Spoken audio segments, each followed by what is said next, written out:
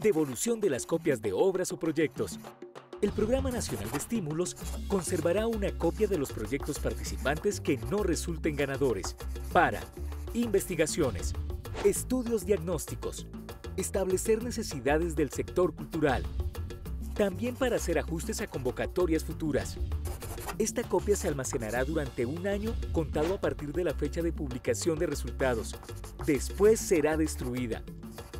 El Programa Nacional de Estímulos también conservará una copia de las obras ganadoras.